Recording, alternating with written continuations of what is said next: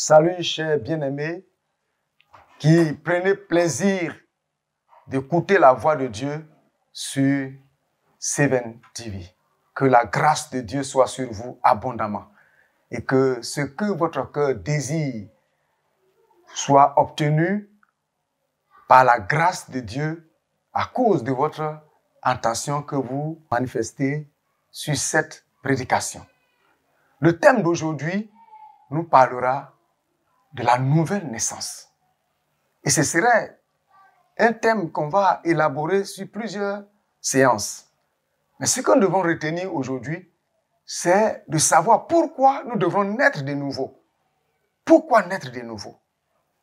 Parce que la Bible dit que dès l'origine, l'homme a failli à ses prescriptions reçues de la part de Dieu. Et Jésus a dit à Nicodème, et je vais prendre la Bible pour faire la lecture de ce passage dans Jean, le chapitre 3, le verset 3, qui nous dit, Jésus répondit, en vérité, en vérité, je te le dis, si un homme n'est né de nouveau, il ne peut voir le royaume de Dieu. Si un homme n'est né de nouveau, il ne peut voir le royaume de Dieu. Donc, le royaume de Dieu, d'abord, est une chose que nous devrons chercher à voir. Dieu nous a créés pour voir sa gloire. Dieu nous a créés pour que nous puissions jouir de toutes les grâces qui met à notre disposition. Mais compte tenu du fait que nous sommes tombés à cause de notre chute dont j'ai parlé, alors il est important que nous soyons rachetés. Et Christ est venu pour nous dire que ce rachat est possible si nous acceptons de naître de nouveau. Et parlant de la chute qui a occasionné notre rupture avec Dieu, sera l'objet de notre méditation. Que Dieu nous bénisse et que sa grâce soit abondante dans notre vie. Sans tarder, nous prenons la Bible dans le livre de Genèse, le chapitre 3, et nous lisons à partir du verset 3, sinon même, on peut même commencer au verset 1. Le serpent était le plus rusé de tous les animaux des champs que l'Éternel Dieu avait fait. Il dit à la femme, Dieu a-t-il réellement dit, vous ne mangerez pas de tous les arbres du jardin? La femme répondit au serpent, nous mangerons du fruit des arbres du jardin. Mais quant au fruit de l'arbre qui est au milieu du jardin, Dieu a dit, vous n'en mangerez point et vous n'y toucherez point, de peur que vous ne mouriez. Alors le serpent dit à la femme, vous ne mourrez point, mais Dieu sait que le jour où vous en mangerez, vos yeux s'ouvriront et que vous serez comme des dieux, connaissant le bien et le mal. La femme vit que l'arbre était bon à manger, agréable à la vue, et qu'il était précieux pour ouvrir l'intelligence. Elle prit de son fruit et en mangea. Elle en donna aussi à son mari qui était auprès d'elle et il en mangea. Donc, partant de ce, ce fait, nous comprenons que notre chute est partie de là. Ce qui a occasionné notre rupture avec notre Créateur, celui qui nous a aimés, qui a tout mis à notre disposition pour que nous jouissions d'un bonheur ineffable. Mais notre distraction, notre désobéissance, notre endurcissement et le manque de crainte même que, l'homme a pour Dieu l'a amené à quitter ses privilèges.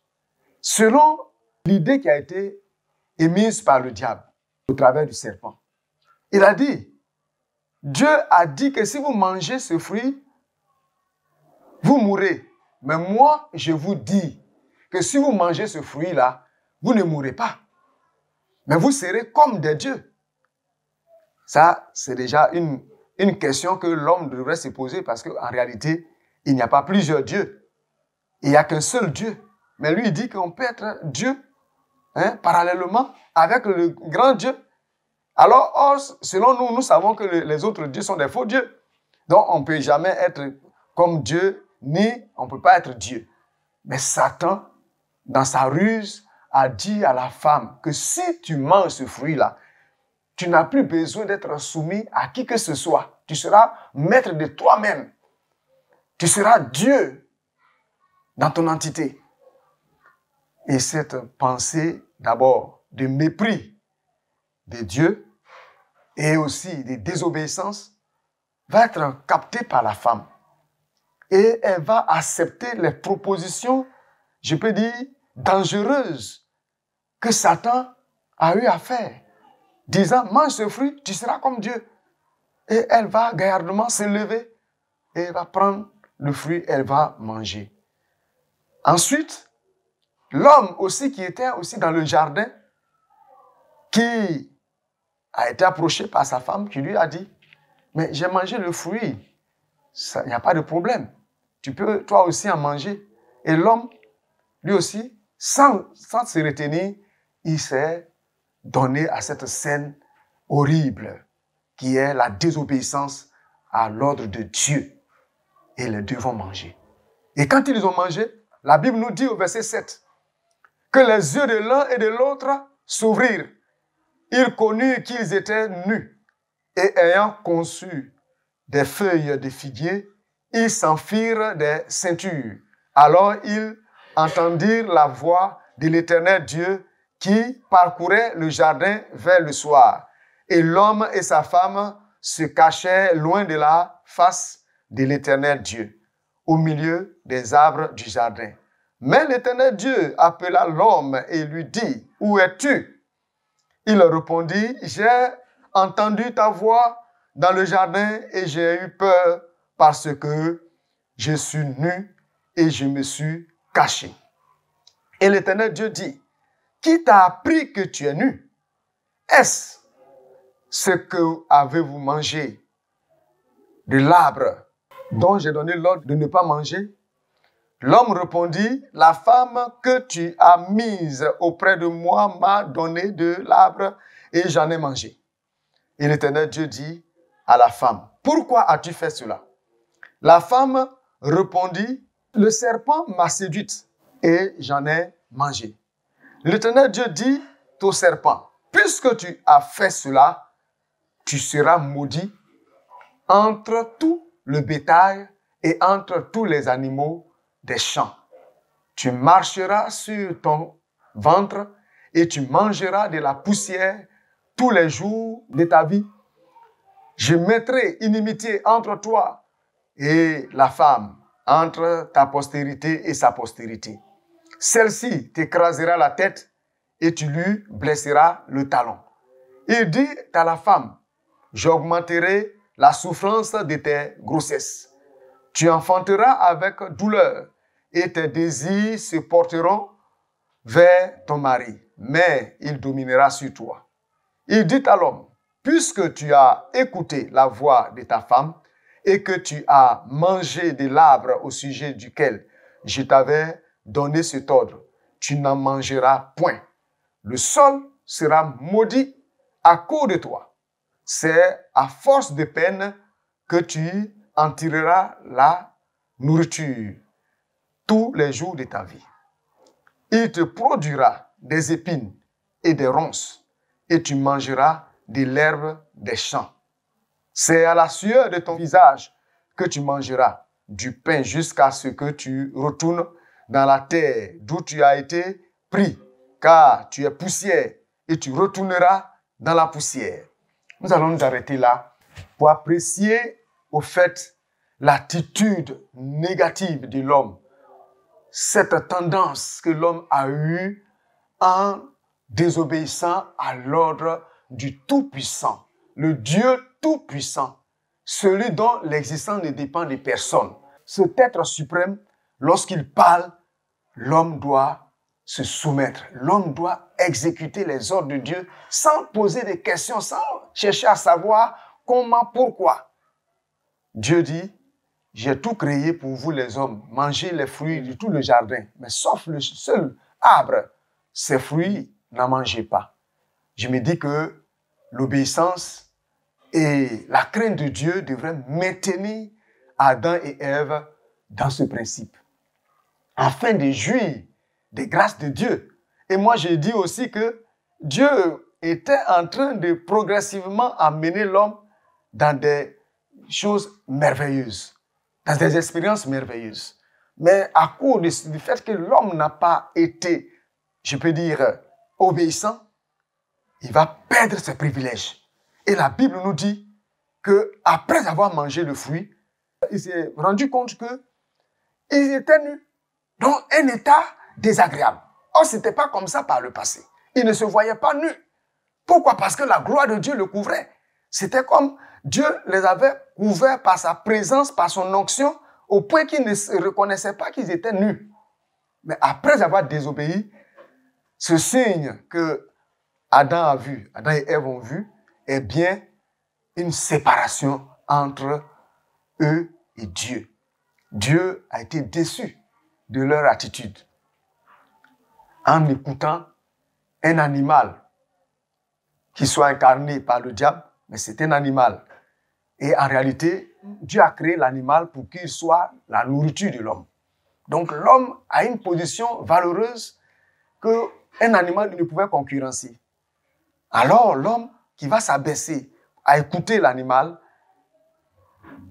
a déjà un frein, a déjà un principe de Dieu. Et Satan s'est allié ainsi à l'homme. Et l'homme va aussi subir les conséquences. Parce que les paroles qui ont été prononcées, telles que la malédiction qui va descendre sur l'homme et les privilèges qui devraient être son partage, vont être suspendus. Parce qu'il a dit, tu es poussière, tu retourneras en poussière.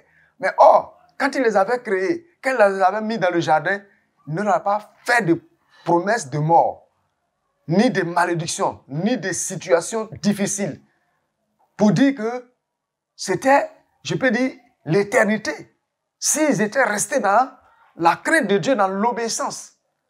Donc nous comprenons par là que l'attitude de l'homme à l'égard de Dieu l'a exposé dans tous les malheurs que nous connaissons aujourd'hui. Les difficultés que nous connaissons aujourd'hui sont dues à notre désobéissance, à notre alliance avec le diable. Parce qu'en même temps qu'on désobéissait à Dieu, on avait tissé aussi en même temps l'alliance avec le diable en écoutant sa parole, en mettant en pratique ce qu'il a recommandé. C'était là une alliance avec les démons. Donc, euh, nous venons quelque part là de vendre notre droit d'aînesse. Nous qui étions maîtres de la vie, maîtres de la terre, nous ne sommes plus maîtres de la terre. Maintenant, nous sommes maintenant téléguidés par le diable qui nous a fait croire qu'en mangeant le fruit, on va devenir Dieu. Adam et Ève ont mangé le fruit, ils ne sont pas devenus Dieu. Mais ils sont devenus malheureux, ils se sont vus misérables. Donc, chers bien-aimés, il est important que nous cherchons la face de Dieu. Et que s'il y a possibilité de revenir au jardin d'Éden dans l'état d'innocence, si l'occasion nous est donnée par Jésus, nous devrons sauter là-dessus. Parce que c'est ce que le Seigneur est en train de faire pour l'humanité, en donnant Christ, qui est le moyen de nous racheter, de nous ramener dans le jardin d'Éden dans l'état d'innocence, dans la période de l'innocence.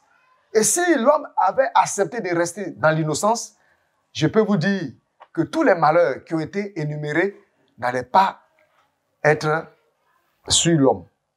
Et les malheurs qui ont été énumérés se comprend par ces termes que j'ai utilisés.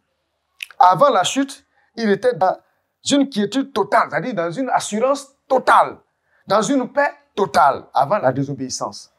Donc, euh, quand on désobéit à Dieu, on se crée beaucoup de troubles, même dans notre âme.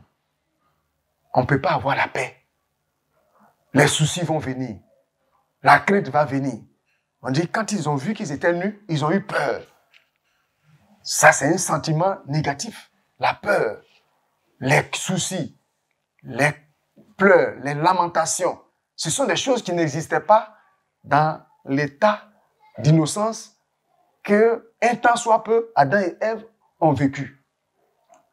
Donc, nous comprenons que à cause de la désobéissance, nous avons attiré sur nous les troubles, la peur, les inquiétudes, les plaintes les lamentations, les combats, les guerres, les troubles sociopolitiques que nous connaissons sont partis du fait que nous n'avons pas gardé la position d'innocence dans laquelle Dieu nous a placés. Et le fait de ne pas voir cette position de Dieu comme étant une position noble, l'homme va se créer davantage des ennuis. La malédiction. Parce dit, tu seras maudit. La terre sera maudite. Toi-même, tu es maudit.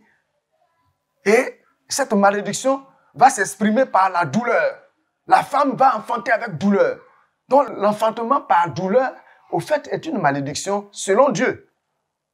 Sinon, quand l'homme était dans l'innocence, cette parole n'a pas été prononcée par Dieu. Dieu n'a pas dit que, oui, Adam, retiens que, bon, quand ta femme va accoucher, elle va avoir des peines. Non, ça n'a pas été dit. Donc, ça veut dire que la femme allait accoucher simplement, sans aucune douleur. On peut comprendre aussi que cette euh, perturbation de domination, l'homme qui domine la femme, qui s'impose d'une manière, souvent la femme a certaines raisons, mais l'homme, avec sa position d'homme, a tendance de dominer la femme. C'est un signe de malédiction. Parce que quelque part, la femme aussi, en, en un mot, n'a pas obéi à Dieu. Alors ça va se répercuter sur elle sous cette forme aussi. Et quand nous poursuivons, il a dit à l'homme, la terre sera maudite. Elle te produira des ronces et des épines. Elle sera inculte. C'est-à-dire, elle manquera de fertilité. Et aujourd'hui, nous sommes sans ignorer que beaucoup de produits chimiques que nous trouvons dans les aliments sont comme imposés. Pourquoi? Parce que la terre devient inculte. Alors, les chercheurs ont trouvé des palliatifs par des produits pour soit euh, désinfecter, pour, euh, je peux dire, euh, pulvériser les jardins. Et ça a des conséquences négatives aussi. Mais sans ça, les bêtes vont tout détruire dans le champ. Donc la terre n'est plus efficace comme on le dit. Donc, vous voyez, les perturbations dans la nature, dans ce que nous voyons, même les cyclones aujourd'hui, on parle de dégradation de la nature, tout ça, c'est la malédiction qui a envoyé ça. Les tremblements de terre, c'est la malédiction. Cette malédiction qui a été prononcée là, qui a engendré cela. La terre est devenue maintenant instable. On parle de glissement de terre, on parle de, de tornades, de, de, volcans. Tous ces mouvements dans la nature qu'on ne peut pas vraiment supporter proviennent de notre désobéissance à Dieu qui a occasionné cela. Parce que quand on écoute les dits du Seigneur, on doit savoir que c'est des paroles, des choses profondes. Il a dit que le serpent va chercher à mordre la femme, à, mordre son talon. Et la femme aussi va chercher à, à, à s'apprendre aussi au serpent. Donc ça veut dire que par le passé, ou bien dans l'état d'innocence, il n'y avait pas d'animal venimeux ou capable de tuer de dévorer un être humain. Si c'était possible qu'un animal dévore, peut-être que c'est son ami animal.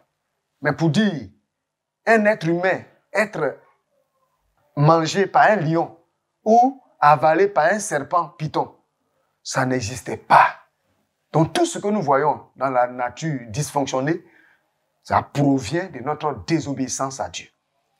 Et cet état étant négatif, on doit chercher à être racheté. Mais par notre propre moyen, on n'y parviendra pas.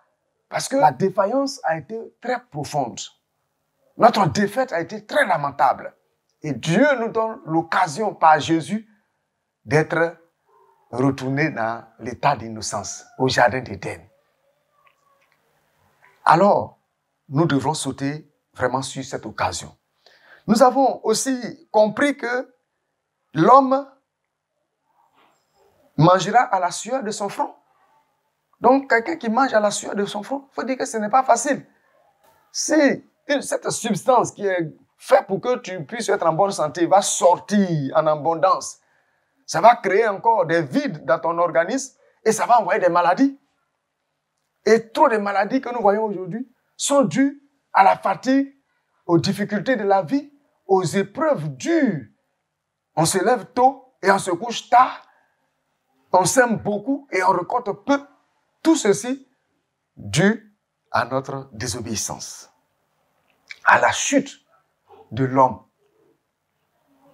Donc, nous comprenons que cet état n'est pas favorable. Personne ne devrait souhaiter cet état négatif qui a été, en un mot, imposé à l'homme par sa désobéissance à Dieu. Notre état. Tu peux avoir de l'argent. Certains disent c'est l'argent.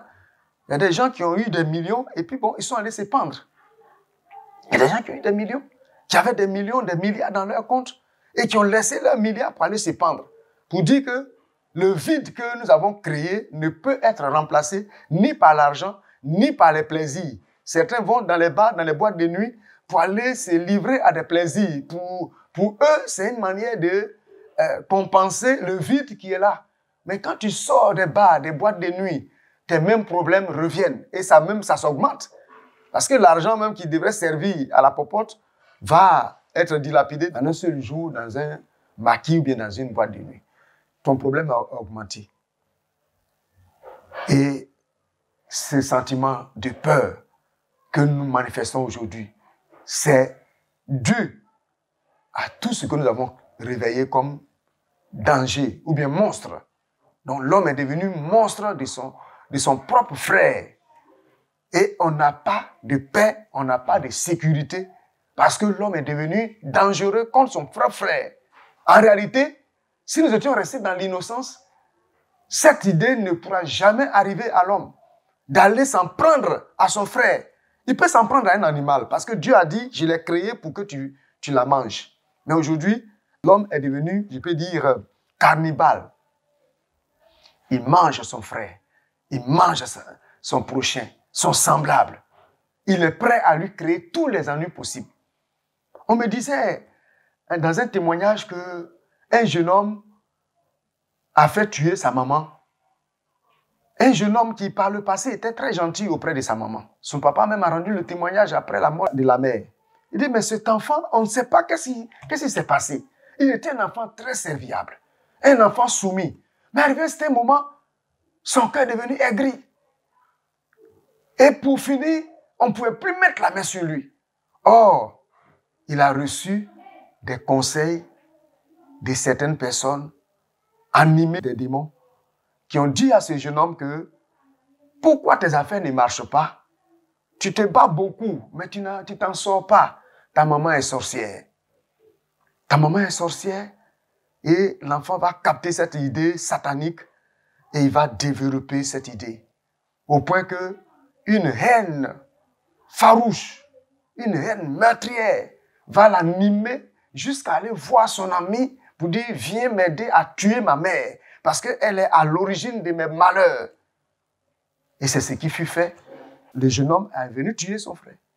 Et dans les enquêtes, il a été pris et il a avoué pour dire effectivement que, en réalité, j'ai tué ma mère parce que le marabout du quartier m'a dit que mon malheur, parce qu'il y avait, je connais des, des, échecs dans mes affaires. Et mes amis avancent, moi je suis en arrière. Et il m'a dit non, que ma maman est sorcière, c'est pourquoi j'ai tué ma maman. Vous voyez? Donc la maman qui a souffert pour avoir l'enfant est devenue sorcière pour bouffer l'enfant. Et aujourd'hui, dans même certaines églises qui soutiennent que ta maman est en train de te bouffer, c'est ta sorcière, c'est ton frère qui est en train de te manger. Ton sorcier là, c'est ta maman, il n'est pas loin. Je voudrais dire, ça c'est une parenthèse que j'ouvre, pour dire aux serviteurs et servants de Dieu que nous sommes, faisons très attention le père, la mère peut être sorcier ou sorcière. Mais si toi, tu es enfant de Dieu, rempli du Saint-Esprit, la sorcellerie de ta maman ne peut rien contre toi, ni de ton, papa, ni même de, quelqu'un d'autre. Quand nous sommes dans la crainte de Dieu, dans l'alliance avec Dieu, quand nous sommes nés de nouveau, le sorcier peut rien. Donc aujourd'hui, les gens ont peur. Monsieur a peur de sa femme, parce que la femme peut prendre un couteau pour tuer son mari. Parce que quelqu'un lui a fait des propositions pour lui dire que mais ton mari est pauvre, il est malheureux, mais si tu me maries, bon, moi je vais prendre soin de toi et tout, tout, tout. Et on voit ces scènes horribles des gens qui s'en prennent à leur prochain. La haine dans les familles, la division dans les foyers, les enfants qui sont devenus rebelles, drogués. Toutes ces choses sont venues par notre alliance avec le diable au jardin d'Éden. Donc cet état de fait ne doit pas être survolé. L'homme ne doit pas voir que c'est normal que la vie soit ainsi. La vie ne devrait pas être ainsi. Mais nous avons ouvert la porte à Satan et la vie est devenue désagréable. Nous avons peur. C'est nous-mêmes qui avons créé cela par notre désobéissance à Dieu et par notre alliance avec le diable. Et voilà pourquoi. Pour que Dieu nous reprenne, il nous demande de naître de nouveau. Parce que notre état initial a été méprisé, rejeté. Et il dit, tu as été tiré de la poussière, je te fais retourner dans cette poussière. Dieu, dans sa colère, a prononcé cette parole. Mais quand Jésus est venu, il a dit, celui qui croira, celui qui mettra sa confiance en Dieu, qui acceptera ma parole, Dieu va lui accorder la vie éternelle. Ça me fait comprendre que effectivement, le jardin d'Éden, la façon dont les choses avaient commencé, ça pouvait s'enchaîner avec cette éternité. Si nous n'avons pas été désobéissants à Dieu, ça allait s'enchaîner. On n'allait pas connaître tout ce problème-là. Alors, j'ouvre aussi la parenthèse pour dire à ceux qui prennent leur temps de mettre tous les malheurs sur Dieu, ce n'est pas Dieu qui est auteur de notre malheur. C'est nous-mêmes, notre infidélité à Dieu, notre désobéissance à Dieu. Si Dieu, dans son amour, a permis que l'homme soit racheté, alors sautons sur l'occasion. Donc aujourd'hui, je voudrais vraiment encourager les uns les autres. Celui qui peut-être est dans le doute, qui se pose mille et une questions. Pourquoi ma situation est compliquée? Pourquoi c'est ceci, c'est cela? Est-ce que tu as accepté Jésus? Est-ce que tu as accepté aussi la nouvelle naissance? Parce qu'on peut accepter Jésus, on peut aller à l'église. Mais si on n'a pas, en un mot, accepté la nouvelle naissance, c'est-à-dire de naître de nouveau et changer de mentalité, cette mentalité corrompue que Satan nous a dictée, si on n'accepte pas la parole qui change pour que nous puissions changer, on va voir comme si le diable était trop fort. On va voir comme... C'est ça, certains qui ne veulent pas se sanctifier, ils s'en prennent aux hommes. Hein, mon sorcier, que mon sorcier, que mon sorcier, ma maman qui est ma sorcière n'a qu'à mourir. C'est une défaite pour soi-disant chrétiens qui luttent avec la chair. La Bible dit, nous n'avons pas lutté contre la chair et le sang, mais contre les mauvais esprits, contre les démons qui nous ont trahis depuis le jardin d'Éden. On doit se révolutionner. On doit se fâcher contre cet esprit. Donc, mes chers bien-aimés, je voudrais encourager chacun de nous à vraiment s'engager sur le chemin du Seigneur et accepter la nouvelle naissance qui a été le moyen par lequel nous pouvons revenir dans le paradis de Dieu, qui est sa parole, qui est l'éternité que le Seigneur nous a promise. Dieu ne ment pas, il est réel. Acceptons la parole de Dieu. Que la grâce de Dieu soit sur nous. Je vous bénis. Amen.